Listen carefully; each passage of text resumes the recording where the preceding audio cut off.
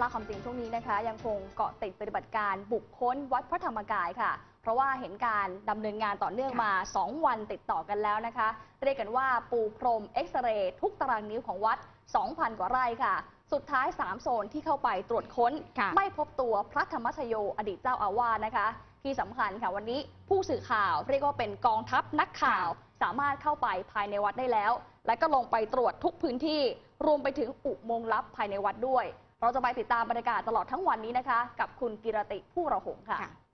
เชิญค่ะเชิญเลยค่ะ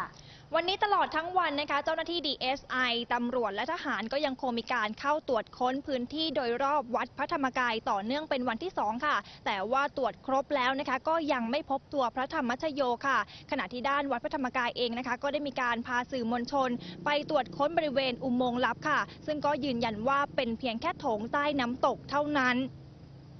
เมื่อเวลาประมาณ 15นาฬิกาที่ผ่านมานะคะพระลูกวัดวัดพระธรรมกายได้นำสื่อมวลชนนั่งรถรางพ่วงนะคะ เข้ามาทางประตูเจ็ดของวัดค่ะ เพื่อเข้ามาตรวจค้นอุโมงค์ลับ ที่บริเวณอาคารภาวนา 60 ปี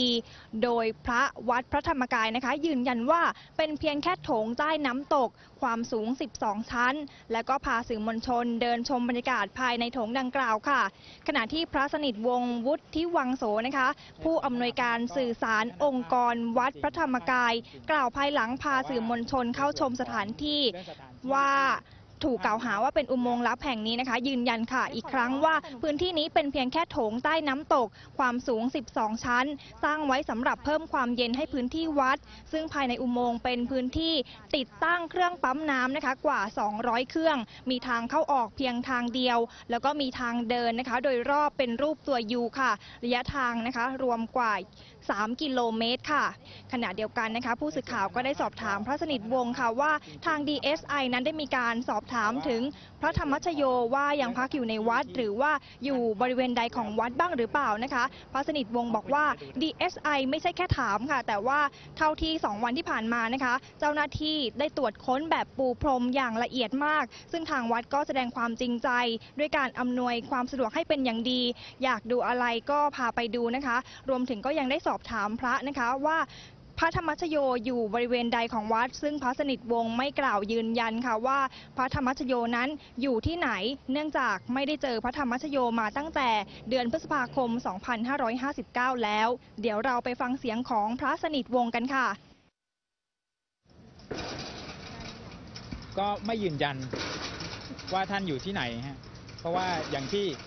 หลวงพี่พูดมาตลอดนะฮะเหมือนเดิมว่าหลวงพี่ก็ไม่ไม่เจอท่านมา ตั้งแต่เดือนพฤษภาปี 2559 ตั้งแต่ที่คุณหมอเยอรมันท่านมาเยี่ยมอาการ ในส่วนท่านอาพาธก็ก็ท่านอาพาธจริง ๆ อาพาธหนักจริง ๆ แต่ว่าในส่วนของเรื่องสถานที่ที่ท่านพักแล้วก็ดูแลสุขภาพโดยคุณหมอเนี่ยก็เป็นในส่วนที่คุณหมอดูแล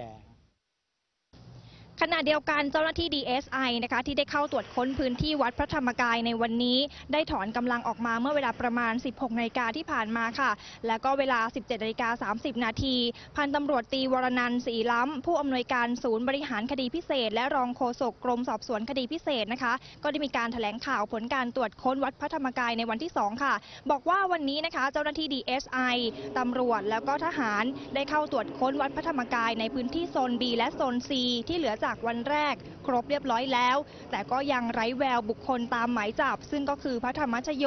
แต่เจ้าหน้าที่นะคะ จะยังคงมีการดำเนินการตรวจค้น บริเวณโดยรอบวัดโดยต่อไปค่ะ แล้วก็จะยังมีการคงกำลังบางส่วนสำหรับการรักษาพื้นที่เพื่อความสงบเรียบร้อยและก็ความปลอดภัย ทั้งนี้นะคะจากการตรวจค้นเมื่อวานนี้ก็คือวันที่ 16 กุมภาพันธ์นะคะ ที่บริเวณอาคารดาวดึง มีการตรวจพบอุปกรณ์ทางการแพทย์ อย่างหนึ่งนะคะ ซึ่งอยู่ในห้องพักที่เคยเป็นที่พักรักษาตัวของพระธรรมชโย DSI ก็ได้อายัดพื้นที่บริเวณอาคารดาวดึงเอาไว้ตรวจสอบอีกครั้งแล้วค่ะ ขณะนี้นะคะบรรยากาศโดยรอบของวัดพระธรรมกายนะคะ เจ้าหน้าที่ก็ได้ถอนกำลังออกมาเรียบร้อยแล้วตั้งแต่เมื่อเวลา 16นาฬิกาที่ผ่านมาค่ะ แต่ก็จะยังมีเจ้าหน้าที่บางส่วนนะคะประมาณ1กองร้อยยังคงตรึงกำลังเอาไว้ เพื่อที่จะรักษาความสงบเรียบร้อยและก็ความปลอดภัยค่ะ ส่วนในวันพรุ่งนี้นะคะ ก็จะไม่มีการเข้าไปตรวจค้นในบริเวณภายในวัดพระธรรมกายแล้วค่ะ แต่ก็จะยังมีการตรวจค้นบริเวณโดยรอบวัดอยู่นะคะ ซึ่งก็จะดำเนินต่อนะคะ ไปจนถึงระยะเวลาที่อ่าได้ขอหมายเอาไว้ตามมาตรา 44 นั่นเองค่ะ